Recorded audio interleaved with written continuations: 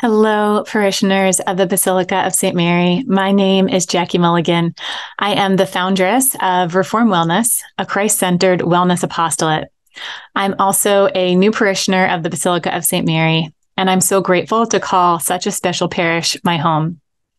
I'm grateful to announce to you that we will be hosting a Christ centered wellness retreat at St. Mary's on October 13th and 14th.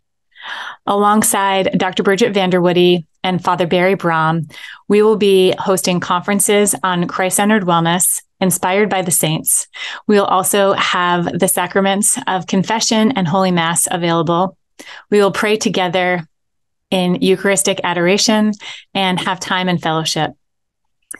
We know the importance of tending to both our body and soul. And so we are going to merge faith and functional health together and center our lives with you on the Eucharist.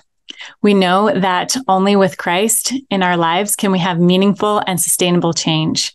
And so we look forward to bringing him with you to the center uh, of the weekend, but more than that, of our lives. We hope that you will join us. For more information, you can visit the link in bio.